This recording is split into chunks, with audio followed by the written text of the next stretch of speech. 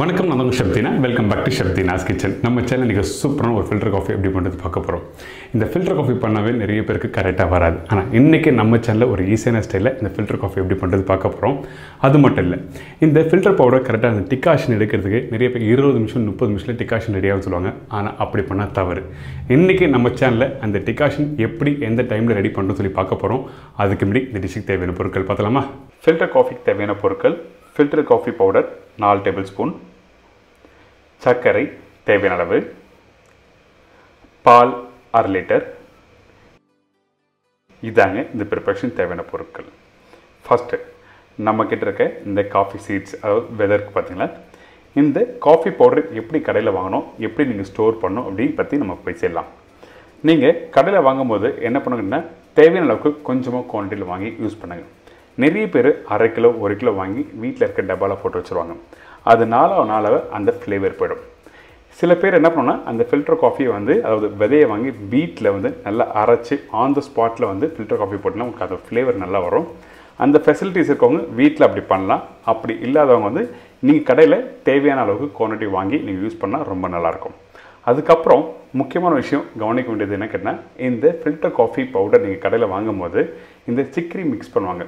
இந்த சிக்கரி வந்து ஒரு மடங்குனா ஃபில்டர் காஃபி பவுடர் வந்து மூணு மடங்கு இருக்கணும். ரொம்ப ரொம்ப இம்பார்ட்டன்ட் நிறைய பேர் வந்து அந்த டேஸ்ட்டுக்காகவும் அந்த ஃப்ளேவருக்காகவும் என்ன பண்ணுவாங்கன்னா அந்த சிக்கரி வந்து குவான்டிட்டி அதிகமாக ஆட் பண்ணுவாங்க. அப்படி ஆட் பண்ணும்போது உங்களுக்கு சாப்பிடும்போது வா வா சூப்பராக இருக்குது அப்படின்னு சொல்லி நல்லா சாப்பிடுவாங்க. ஆனால் உங்களுக்கு வந்து என்ன மாதிரி ப்ராப்ளம் வருங்கன்னா உங்களுக்கு ஃப்யூச்சரில் ஸ்டொமக் சம்மந்தப்பட்ட பிரச்சனைகள் வரும். அதாவது வயிறு சம்மந்தப்பட்ட ப்ராப்ளமாக எல்லாமே வரும். வயிறு உப்புடுது வயிறு வலி இந்த மாதிரிலாம் ஃப்யூச்சரில் வர்றதுக்கு நிறைய சான்சஸ் இருக்குது அதனால் வந்து கடையில் வாங்கும்போது கவனிக்க வேண்டிய விஷயம் அந்த ஃபில்டர் காஃபி பவுடர் வந்து மூணு மடங்குனா சிக்கரி வந்து ஒரு மடங்கு. இப்போ வாங்க ப்ரிப்பரேஷன் எப்படி பண்ணுறது பார்ப்போம்.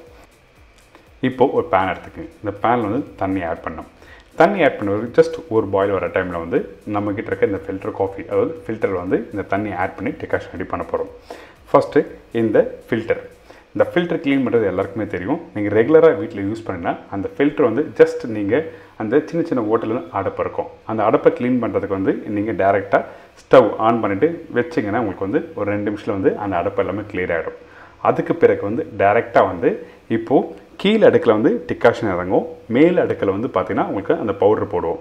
இந்த மாதிரி பவுடர் நாலு டேபிள் ஸ்பூன் அளவுக்கு நான் பவுடர் ஆட் பண்ணுறோம் இந்த பவுடர் ஆட் பண்ண பிறகு இந்த மேல் மூடி இருக்குது பார்த்தீங்களா இந்த மேல் மூடி வச்சு ஜஸ்ட் லைட்டாக நீங்கள் ப்ரெஸ் பண்ணணும்.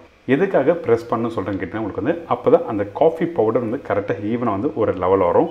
அதுக்கு பிறகு இந்த அழுத்தம் அதாவது உள் மூடியை வச்சு ஜஸ்ட் ப்ரெஸ் பண்ணிட்டு மேலே தண்ணி ஆட் பண்ணணும். தண்ணி வந்து கரெக்டாக வந்து பாதி அளவுக்கு காஃபி பவுடர் ஆட் பண்ணிங்கன்னா நீங்கள் வந்து மீதி பாதி வந்து தண்ணி ஆட் பண்ணுங்கள் இந்த தண்ணி ஆட் பண்ண பிறகு திருப்பி உடனே நல்லா அந்த மூடியை நல்லா டைட்டாக க்ளோஸ் பண்ணணும். அது ரொம்ப இம்பார்ட்டன்ட் சில பேர் வந்து அந்த மூடியை சரியாக க்ளோஸ் பண்ணாமல் வேறு ஒரு தட்டு போட்டுருவாங்க வீட்டில் இருக்க பொருளை வச்சு. அப்படி பண்ணக்கூடாது. மேல் மூடி கரெக்டாக க்ளோஸ் பண்ணிக்கணும் அப்போ தான் அந்த டிக்காஷன் அந்த ஃப்ளேவர் கரெக்டாக உள்ளே இருக்கும். இதுக்கு பிறகு இப்போ வந்து அந்த ஃபில்டர் காஃபி பவுடரில் தண்ணி ஆட் பண்ணி க்ளோஸ் பண்ணியாச்சுல இந்த ஃபில்டர் காஃபி டிகாஷன் நீங்கள் வரதுக்கு எவ்வளோ நேரம் கண்டிப்பாக இருக்கணும்னா குறைஞ்சபட்சம் ரெண்டுலேருந்து மூணு மணி நேரம் கண்டிப்பாக நீங்கள் இறங்கியிருக்கணும்.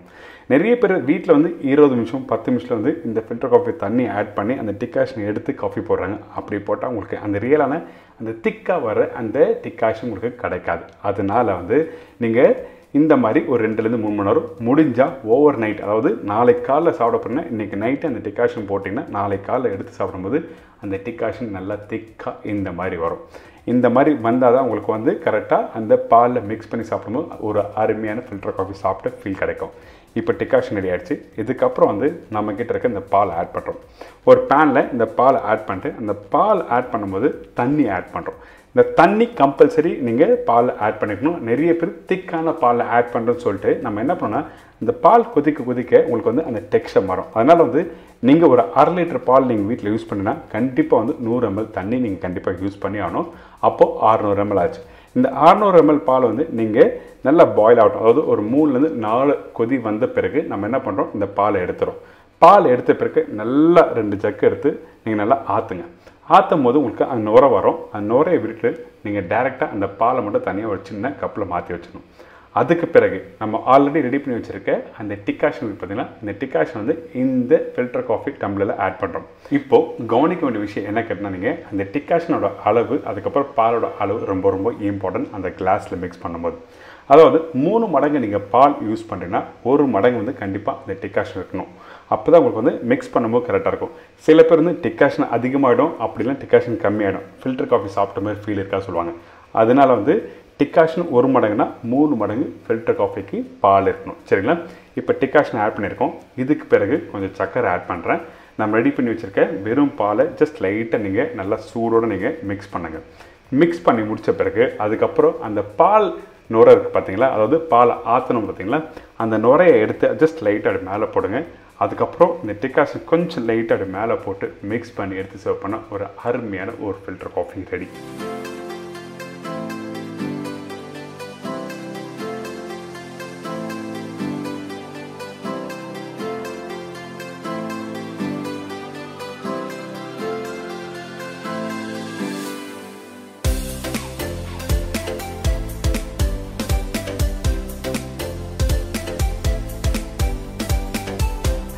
எனக்கு இந்த ஃபில்டர் காஃபி எப்படி பண்ணுறது எல்லாருக்கும் ஈஸியாக தெரிஞ்சிருக்கும். நல்லா சூப்பரான ஸ்டைலில் ஃபில்டர் காஃபி எப்படி பண்ணுறது சொல்லி கொடுத்துருங்க கண்டிப்பாக ட்ரை பண்ணி பாருங்கள் இப்போ ரெடியான நம்மளோட ஃபில்டர் காஃபியை வந்து இப்போ டேஸ்ட் பண்ண போகிறேன் அப்படி லைட்டாக அப்படியே ஆற்றிட்டு அந்த நுரையோட சாப்பிட்டா அந்த அளவுக்கு அருமையாக இருக்கும்.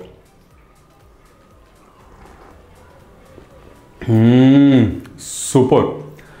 அந்த ஃபில்டர் காஃபி சாப்பிட்டா அடுத்த ரெண்டு மணத்துக்கு மூணு மணத்துக்கு எதுவுமே சாப்பிடணும். ஆனால் இந்த டைமில் நான் மிஸ் பண்ணுறது என்ன கேட்டேன் கொஞ்சம் லைட்டாக மைசூர் போண்டா. அது கூட கொஞ்சம் லைட்டாக காசு அல்வா சாப்பிட்ட பிறகு ஒரு ஃபில்டர் காஃபி சாப்பிட்டு பாருங்கள் அந்த அளவுக்கு பிரமாதம் இருக்கும். பேஸ் பேஸ் சொல்வீங்க.